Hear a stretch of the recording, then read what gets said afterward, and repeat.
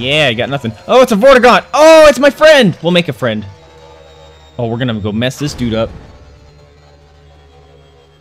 What are you being goofy for? Just sitting outside of Tim's door. Get him!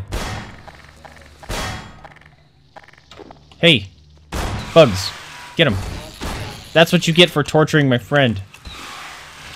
He has a shotgun, which sucks. Can you kill him, please? What the heck is going on? He's just like dancing in the doorway. oh, oh, not anymore.